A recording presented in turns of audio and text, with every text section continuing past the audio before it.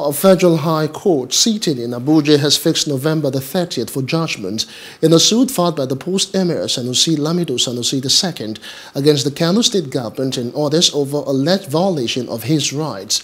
Justice Anwuli Chikere fixed the date for after counsel to parties in the matter adopted order processes and final argument taken.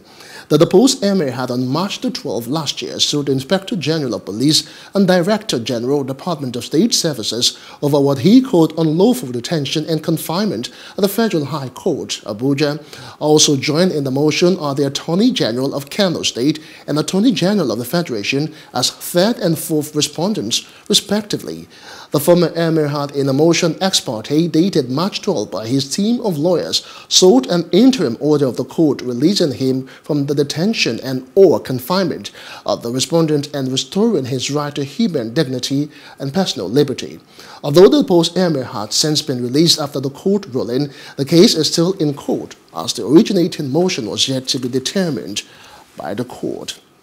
Hello. Hope you enjoyed the news. Please do subscribe to our YouTube channel and don't forget to hit the notification button so you get notified about fresh news updates.